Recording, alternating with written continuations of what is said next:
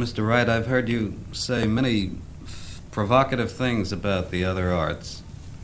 What have you been reading, or what music have you been listening to? What paintings do you look at? All of them that are available, good and bad, because they're all features of architecture. They're all, all the arts are subject to the mother art, which is architecture. And when architecture was supreme, before it became moribund, they all belonged to architecture and were handmaidens of that great house. And when architecture ceased to be creative, became moribund, all these minor arts, as I call them, painting, sculpture, music, even, although music and architecture are greatly parallel, same kind of mind, almost the same technique on a unit system. All those began to take a little shovelful of coals and start out on them on their own, you know, to do their own way. And they've never flourished much since. In architecture, of course, we haven't had. And it's all a sort of a pitiful wreck of a great, what was once a great household is now scattered and growing more and more helpless until architecture comes back again. Mr. Wright, women have excelled in such arts as writing and painting and sculpture. Why do you suppose we haven't had women composers or architects? I don't know about women composers. You mean in music? Mm-hmm. And painters, they've been, they've been uh, some good women painters and good women composers, and no architects because architecture is a pretty tough job. It's uh, comprehensive, and you have to get your hands in the mud of which the bricks are made, and it's a pretty tough performance all down the line. I've always said that it was pretty difficult to be a gentleman and an architect at the same time. So I suppose that would be true of a lady, only more so. Could we elaborate a little bit on this parallel between music and architecture in, in society? Yes, I've always felt my father taught me. He was a preacher, but he was first of all a musician and made his living, or tried to, teaching music later on. He never was able to support us by way of it, and his life was a kind of tragedy. But he taught me that a symphony was an edifice of sound, and that it was built. And I learned pretty soon that it was built by the same kind of mind in much the same way that a building is built. And when that came to me, I used to sit and listen to the only master that was immaculate in my my listening was Beethoven. He was a great architect, and he had a great disciple, and his greatest disciple was Brahms. Brahms was a true disciple, such as a, any uh, man could be proud to have. If I had in architecture a disciple such as Brahms was, where Beethoven was concerned, I should be extremely happy. And perhaps I will have someday, but the two minds are quite similar because they arrange and build, conceive, develop, plot and plan in very much the same way. And both are working on a unit system, you see. There's the scale, the clef, and all the things that go in the notes on the scale, very like the thing an architect like myself does when he sits down to design a building. It's all on a unit system. You'll see little squares ruled all over the paper. And it all holds, the unit system holds the whole concept together in scale so that one part isn't coarse and another part fine and and you'd have great difficulty but for the practice of the unit system and having a perfect synthesis of proportion. And that ensures the proportion of the thing. So there's a great sympathy between music and architecture. Mr. Wright, your Unity Temple built more than half a century ago. is now a landmark in the architecture of the world. What would you say you achieved in it? I think that was about the first time when the interior space became began to come through as the reality of the building. When you sat in the temple, you were sitting under a big concrete slab that let your eye go out into the clouds on four sides. Then there were no walls with holes in them. You'll notice that features were arranged against that interior space, allowing a sense of it to come to the beholder wherever he happened to be. And I'd been working on that thesis for a long time because it was dawning on me then when I built that building, as later in the Hillside Home School, or about the same time, I guess, for my aunts, that the reality of the building did not consist in the walls and in the roof, but in this space within to be lived in. And that was a new countenance that a building should wear. And I was determined at that time to make that the countenance of the building, the interior space within. How about the Robie House of 1909? Why do you think that house so powerfully influenced the design of dwellings everywhere? Well, of course, it's hard to say. Again, the principle was working there, and the house had an atmosphere that belonged to the prairie, and it was more human than most of the things around. The Germans referred to it as Dampfer architecture, steamboat architecture. It was an entirely new proportion in building, and it seemed to excite them and interest them abroad even more than at home, although at home they had a great curiosity and they'd come in droves on a Sunday around that house and other houses I was building. They had seen something new, something fresh. Well, then came the beautiful house you call La Miniatura for Alice Millard back in 1923, I believe. It opened the one in the ravine with some water in it that nobody dreamed could be built on, and that was for sale for $3,500 when the lots around were costing five times as much. So we bought it and built the house down in the ravine, and that was the first concrete block house, the first Usonian system house. I built five in Los Angeles altogether, but this was the experimental first one.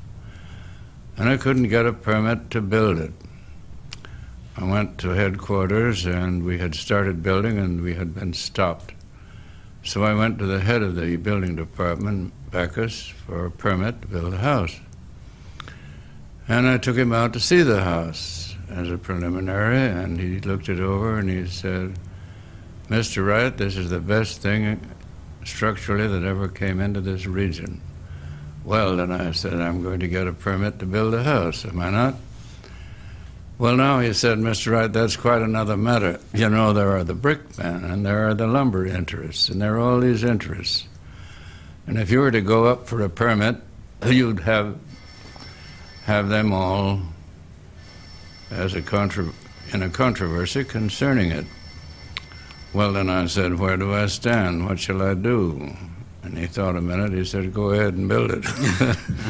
so I built five others there was a man who didn't think too heavily of, of the laws that had been made contrary to the interests of the human being. There are not very many such. The codes are adamant and at least 15 or 20 years old and entirely contrary to the interest of the man who wants to build a building. Mr. Wright, your phrase organic architecture has become a part of the language by now, even if it isn't yet really comprehended. You've often called it a natural architecture, an architecture of integrity. Could you define it further? Well, that word integrity you've just used is what is lacking in almost all art, artistic expression or expression of the arts today. And integrity would imply natural would imply nature in a, in a profound sense. And when you proceed from generals to particulars, as you do when you are building, that's your natural gut, natural center line of your effort would be the what is the natural thing, what is the nature of your materials, even the nature of your client, the nature of the situation on which the house is built, nature of the climate. It's all a nature study, the building of a house. And I suppose it would be the same in, in a great composition like Beethoven's Eroica when he was celebrating the heroism of, of uh, Napoleon. And then, toward the end of his effort, began to feel that Napoleon, after all, was dead so far as his ideal was concerned, and a great sense of tragedy overcame him, and you feel it in the music. It's a great story, a great revelation of a man's worship and disillusionment. I was, I was going to ask you about some closer parallels between contemporary music and contemporary culture and contemporary uh, architecture. Well, the difficulty with contemporary music is that architecture is in possession, possession of entirely new mediums, entirely new materials, an entirely new way of life, you see. Architecture was compelled to be new if it was going to exist, but no such thing has happened to music. You see, music, the orchestra is still new, it's modern. All musical instruments that we have today are the same. So the musician has not been gifted as the architect has been gifted with the means to a new expression. And they have only perhaps a vernacular which they can use to express themselves when they wish to be what they call modern. Now, modern is not necessarily new. Anything built today, no matter what its character or complexion, would be considered modern but not necessarily new. But if it was new, it would certainly be modern. Mr. Wright, I suppose that Fallingwater, built in Pennsylvania in 1936, must by now be the most famous house in the world. What is the nature of that house? 30 million people must have seen Fallingwater by now. Perhaps the whole world has seen it. I guess it has. Mm-hmm. But it was a very simple expression of. Uh, a man's love for that particular site, the music of the waterfall. And never before had I been given concrete and steel to build a building with. You see, when steel comes into your hand, you can pull on the building and you have what's called a cantilever. Now, the cantilever is this principle of tension your arm reaching out from your body and held by the sinews and muscles above, moving as you wish to move it as a cantilever. The trunk, of course, is the support, that's in compression. But you can suspend from the end of the cantilever fabrications of any kind. So the new principle in architecture is this principle of the interior support, the extended slab, the arm, and the falling screen hanging to the slab. Now that's the structural synthesis of my own building, and it is essentially organic in itself. And that is falling water in principle. And the grammar of falling water, now we call the grammar of the building, the shapely means you use to, to uh, make the building manifest. That was all a new grammar because it had neither coping nor base course. It was extremely simple, rounded edges above and rounded edges below, and slab surfaces which had characterized the work always. In fact, Fallingwater is no different from the work that preceded it. In general design and effect, except for the details that go with steel and concrete. You can compare it with several houses that preceded it and see the same thing except for the top edges and the bottom edges. Mr. Wright, what are your first considerations in undertaking to design a house? The nature of the site, like falling water. And next, the nature of the materials you have to use and the people you're going to work for and what it is they want to live in. And you have to have an eye on what they want to live for, too. I can't see any future in anything but an individual type of architecture. If the Declaration of Independence in America means anything, and democratic life means anything, that's practically what it means. You see, I was at in my uh, country home, lying on the bench, the Dutch door half closed below. Great curiosity existed. It was during a tragedy at Taliesin, and people came in droves to look around, and two women ranged up on a Sunday morning, looked all around into the living room, and owed and odd, and how uh, beautiful this was, and how that was so interesting. Then a pause. Finally, one of them said to the other, Well, I wonder if I'd like living in a place like this as much as I'd like living in a regular home. Well, now that's the way it all began. They were, these things were strange. They weren't accustomed. They were accustomed to stuffiness and uh, a messy environment and things never going together, making a kind of commotion. And they didn't understand it and didn't want to understand it. They put it on like some old garment when they built a house without thinking. But now comes the uh, necessity for not just taste, but some knowledge. You have to know now, a little better and a little further along, what constitutes good proportion, harmony in buildings, great and beautiful environment. And it's a culture and a growth in itself of the soul. So the people who live in these advanced houses, I think that's what we can call them, must have a greater feeling for life. They must be more in themselves than the people who haven't arrived at that stage in their development. And once they have arrived there, they are liberated, they feel, and they see so much more than they never saw before. They see the uh, lineaments of nature, and as Blake would put it, uh, the lineaments of gratified desire and they write thankful letters, and they're they're really sometimes very touching. And now, when we don't want to build houses anymore, I can't get out of building them because people write and say, "Dear Mr. Wright." Ever since I was 16 years old, I have wanted a house designed by you. Now, that's the way it begins, and before it ends, you're building another house, that's all. But that's the way it is now. We're so much uh, engaged in building important things like new theater, and new type of museum. We call it the Archeseum, to explain to people that it isn't just another museum. And the uh,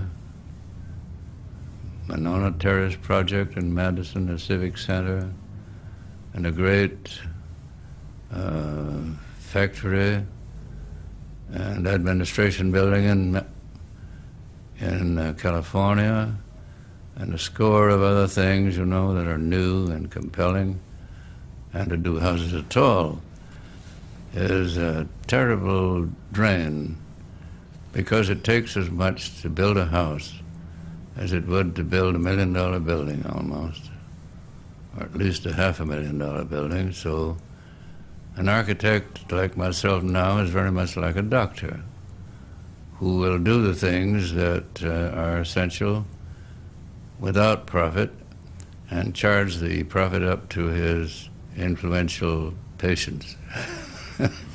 so if we get a big building to build now, we can build small buildings. But it's conditioned on that, I guess.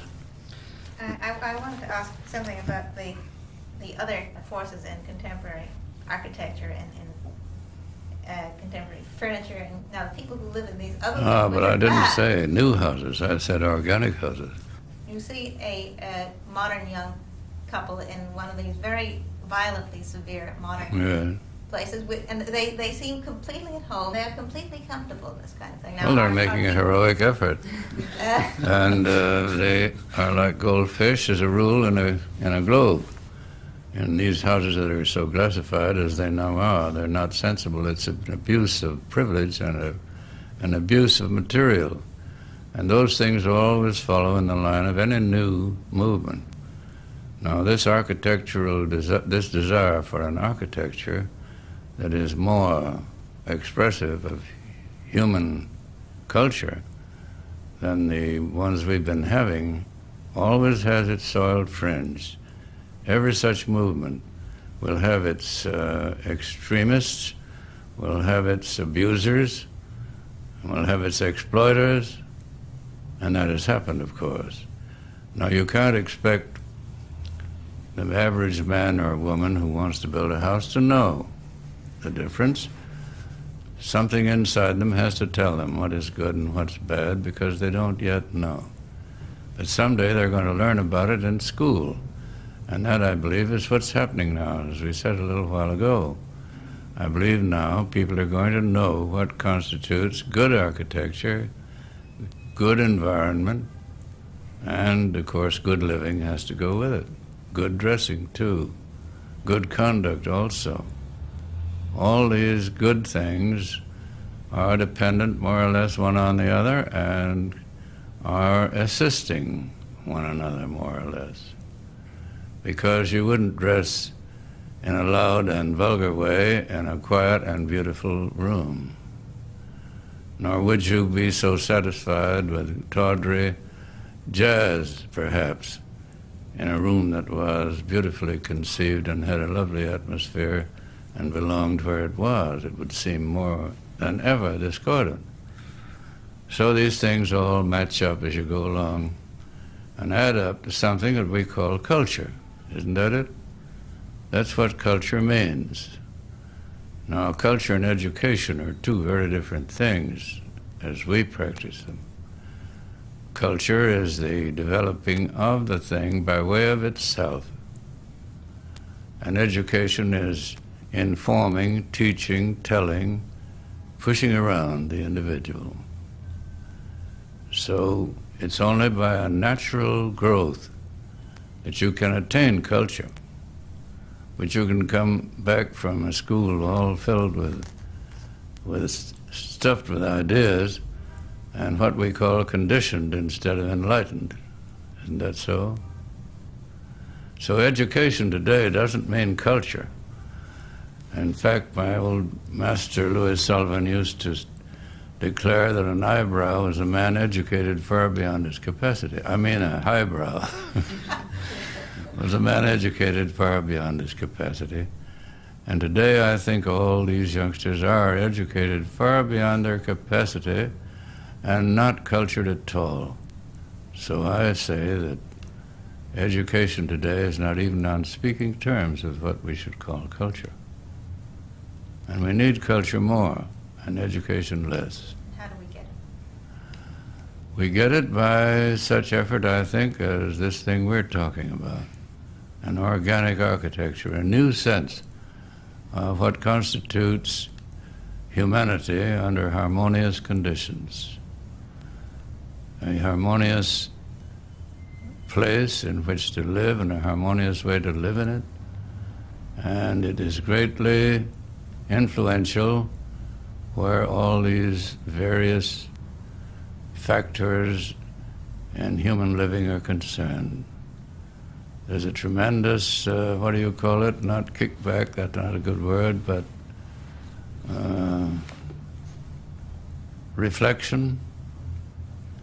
What would you call it, man?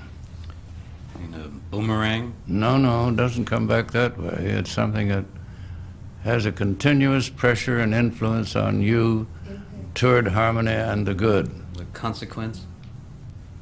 Well, there is a word, of course, for everything, mm-hmm. but you don't come by it every time.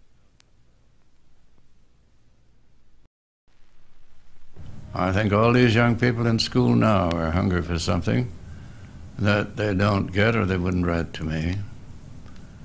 And I think also that it's an instinct of the higher nature. You see, you're only human as you rise above the animal. Your animal self is one fundamental factor or element in your life. Then, when you come into the higher things that are not animal, the things of the spirit, then you get into this realm that we call art, and you begin to look for things that are creative rather than just uh, repetitive. And I think there's where you're in the realm of culture rather than education, because you can educate an animal. You've seen them do tricks, haven't you? Well, I think that's a pretty good uh, contra- uh, definition of the difference between education and culture. So you can see how the trampling of the herd would have a small chance to develop culture of an individual. It's got to be an individual affair. It's got to be a slow affair. It's got to be a peculiar to you affair. Now, how are you going to do it with 20,000 students in a university? How are you going to do it with high schools crammed two stories, three stories high with a crowd of students? As a matter of fact, culture is not for the herd. Culture is not for the crowd. Culture is an individual thing. And that's what our forefathers struck when they decided and when they declared, I mean, that, that uh, the individual is sovereign. The sovereignty of the individual. Now, that means a certain premium on aloneness to start with, a certain uh, rejection of the common man as common, but insisting on his privilege to be uncommon. And so that exists in every human soul today. And this is the country that we live in that declares it, the only one that has made it official, the only one that has made it constitutional to be yourself. and we see abuses of it, of course, all down the line now. We see, it, uh, we see ourselves all drifting back again, drifting toward the commonplace, drifting toward the common man. And you hear it asserted that uh, that was what our country meant. That the common man was free to be common. Well, he wasn't. He was free to become uncommon. And that's the freedom that we ought to tote and talk about. And we should resent with all our strength this drift toward equalitarianism, which is commonness raised to the nth power. Do you think that it's the, the impact of city life which has uh, deteriorated the, the... Oh, of course, the influence of city life. Is, is this why you're in favor of decentralization? Are you against the city as a unit of, of contemporary life, and how would you aid in decentralization in, in the face of the tremendous numbers of people we're dealing with now? Well, it's because of the tremendous numbers of people and the advantages that those people now have that the city is dated. And the city is now a bad influence on human beings so far as their future is concerned because there are so many of them. And they have now such advantages as they never had before. They have transportation, speed, listening, this which we're using now. It's no longer essential for people to crowd together anywhere. And there's no reason why you can't have all the advantages of the city to a much greater extent far away from crowds. In fact, crowding is now anathema. Crowding cannot be done. Well, the city, of course, is a, is a thing of the past. There was a time during the Middle Ages when it was the only source of culture. There was no way of acquiring this thing we call culture except by direct contact isn't so now. It hasn't been so for many years. It wasn't even so when this country was founded, but of course it was more so. But gradually, all the, the development of all these sciences, the gifts of science to us, have made this crowding unnecessary. And it always was after the Middle Age, after the Middle Ages, it always was a detriment. It never had any real, uh, never was any real asset to humanity. And especially when the emphasis now comes on the individual and the growth of the individual unit and the whole process of civilization dependent upon the quality of that individual, especially. We've got to give over this uh, crowd. We've got to get out of the crowd. We've got to be all the crowd there is ourselves, in proportion as we desire it. Now, some of us will always want to huddle. Some of us will always want to pig pile. Some of us will let us that'll that'll segregate the uh, sheep from the goats, so to speak. You can stay and huddle and pig pile if you want to, but when you feel yourself to be an individual and you feel this declaration of our freedom, when you get that into your system, you'll want to go out somewhere where you can be as alone occasionally and be yourself as you want to be and have the benefit of nature you see, the city now is a divorce from nature. It didn't used to be such a divorce from nature as it is now. But now it is a great divorce from nature. And there's no substitute. You see, quality, there used to be a big sign on the roadsides. I used to see it, it was advertising a patent medicine, I think. So, quality knows no substitute, but nothing truer was ever said. Now, quality cannot come from pig piling and herding and traveling with the herd.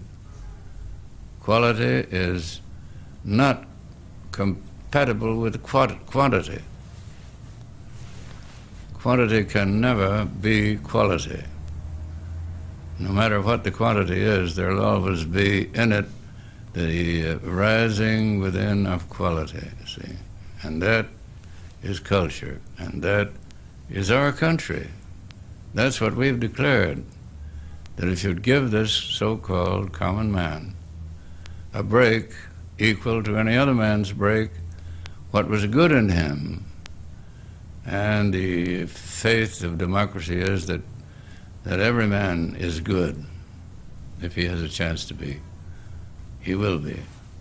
What do you envision as the future of architecture now? The future of architecture is the future of the human race. The two are one. If humanity has a future, it is architecture as a basic element in its culture. And if it has no future, no architecture. How do you decide on the materials that give your ideas concrete form? Well, those that are native, of course, are best, most appropriate and the cheapest, most feasible. If there's stone in the neighborhood, we like to use stone. If there are kilns and there's brick, and brick is characteristic, well, fire, fire built houses are good. And wood is always the friend of man. Don't you feel friendly to a tree when you see one? And if you don't see one, you're hungry for it association with trees. Trees and human beings belong together. I don't think one could exist without the other, perhaps. If they could, it would be the tree that would survive. well. What, what about the changing face of a city like New York, which is being torn down at a tremendous rate and being re- But it isn't changing, that's the trouble. It's simply repeating and repeating and repeating and piling up on itself. It can't change. It has lost the capacity, the proportion to change. It's like something compressed into a into a tin canister or some metal form or some packaging. It's, it's so pushed in tight it can't change.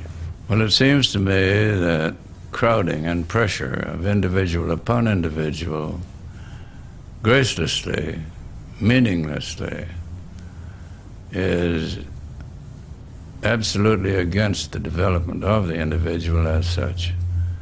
So I think the development of the individual is not possible on terms of modern urbanism. You can educate him, and that's where he is, I guess. It may be educational, it certainly isn't cultural. I guess, as you've said, the danger is in the standardizations that come in the machine age. Absolutely. It's taken me all these years to learn that standardization is no bar to beauty. And the standardization can be controlled and the machine used as a tool to develop a beauty greater and more beneficent, more pervading, more all embracing than anything we ever knew before. So that's what this age means. That's what the machine age should mean. But it's being exploited and uh, turned inside out, turned over wrong side up by all these opportunists and this desire for material uh, benefits and success. Same old story. There's nothing new in it. It's just as it always has been. It's only when it is conquered and we're, we're aware of this greater and finer way of life that we're truly Americans in the sense that we have a new country and a new ideal, and we have a new, therefore, bound to have a new architecture. You said before that science was opposed to beauty or alien to it. Do you think this is a permanent state or? I think science has far outrun our capacity to take its gifts and use them with proper profit to ourselves. I think science has now reached a point where we're on the brink by way of it, and we can destroy ourselves by one false step. Because science gave us things that we weren't yet ready to use. We didn't know how to use them properly. We don't know how to use speed. We don't know how to use uh, so many of the things science has given us yet. And the fact that we're crowding in cities shows it. Proves that we haven't learned anything, that we haven't really profited by what science has done. Science destroyed the city. Science has given us the basis for an organic architecture. It's science now that builds the building that we call organic. But science as a tool, not as a master. Do you plan for painting and sculpture within a house? As Well, certainly. It's an expression of an idea that embraces all of that. The conception of the house as, as an idea is uh, aiming at beauty, concord, comfort, everything that goes into the making of uh, the human spirit beautiful. We were talking about contemporary art and sculpture and how they fit into your scheme of architecture and your philosophy of Contemporary arts? Yes. Well, that wasn't what I had in mind. I'm searching for a lost thread here, it was concerning uh, human nature in search of something better than the thing it knows. Human nature is always uh, restless, aiming, desiring, and uh, feeling either an uplift or a depression or being shoved aside. Now, architecture gratifies that sense of the future, the uplift, the becoming. And of course, all art should, more or less does. But architecture primarily is the basis of that And from it, you get your painters and you get your sculptors and you get your craftspeople, all desiring to make something suitable, fitting, uh, calculated to make human life happier. Gadgetry is intended to make it easier and does, but without these other things of the spirit, these mechanical things which we have so many of now and so much of, that has given us a facility we don't know what to do with. All we can do now is to rush from here to there with some idea that we want to go somewhere. We want to go now. But what we get out of going isn't what's so important as it ought to be. So here we are with all this increased facility, speed, and what is speed? Speed is just voracity, isn't it? You're voracious. You go this fast, and go there in five minutes, then you're looking forward to going there in two minutes, and pretty soon in one minute. It's a kind of voracity that eats you up. And so we have that equivalent in nearly everything. I notice the boys, when they're working in the kitchen, turn on the uh, radio and the television, and they'll see television, listen to music while they're washing the dishes and cooking the food, and it all comes pouring in, you see, as though it didn't cost anything. Now, all that has its consequences. We have to reckon with it. And that's why it's so important that all this should be good. And none of it, almost none of it is. I should say the influence of nine tenths of it was demoralizing. Not uh, building up, but uh, deadening or or deforming or something of the kind going on all the while. Is it getting any better? I don't know whether it's getting any better. Yes, it must get better. Things are always either getting better or worse. They never stand still. Now, of course, I see great evidences in in architecture.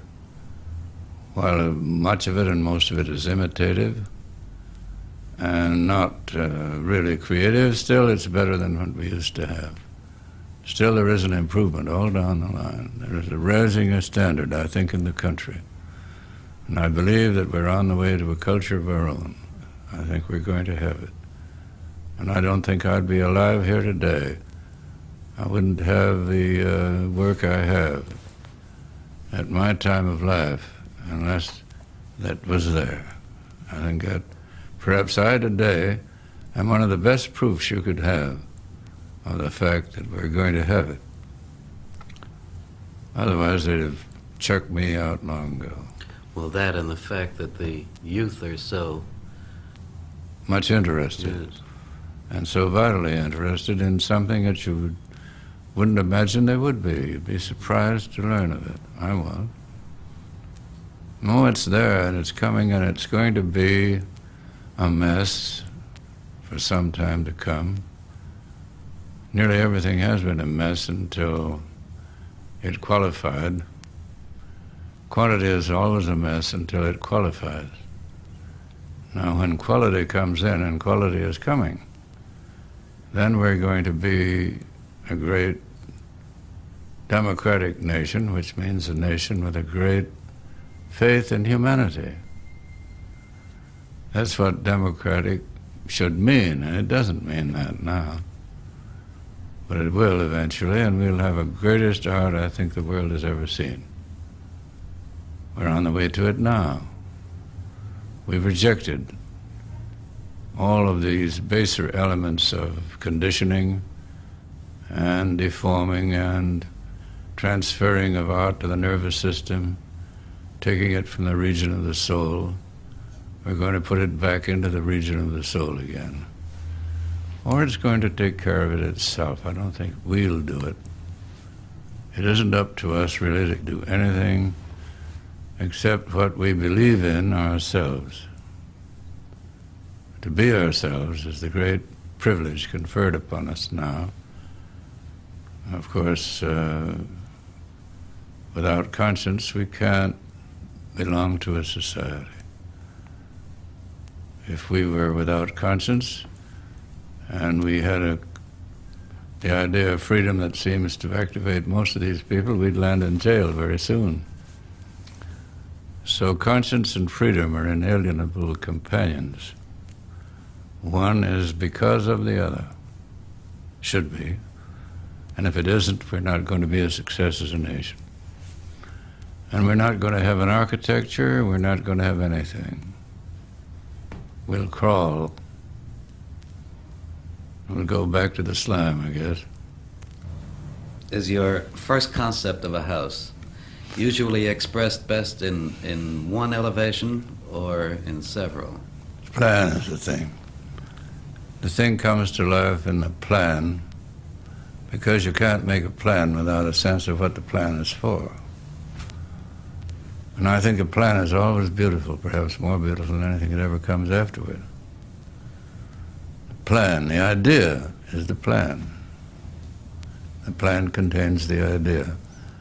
Now, the house is an idea, if it's a good house. And that idea embraces all that composes or will compose the uh, usefulness and beauty of that house. It's right there in the plan. Do you often feel that there is a, a wide gulf between that first conception and the house as it's executed? Never. Never. If there is, why you you've torn it away and started again, without knowing it. and that couldn't happen to an architect because the steps are are like they're all interknit, and it's like knitting something. You're weaving it and bringing it to be by way of actual steps in construction and in the use of materials and in the understanding of human nature which you possess. It's all interwoven. It's all a weaving. And after the weaving is done, there it stays. And you're interested in another weaving, and that stays. But it's always coming out from the everywhere into the here, and the best weaving is still to be.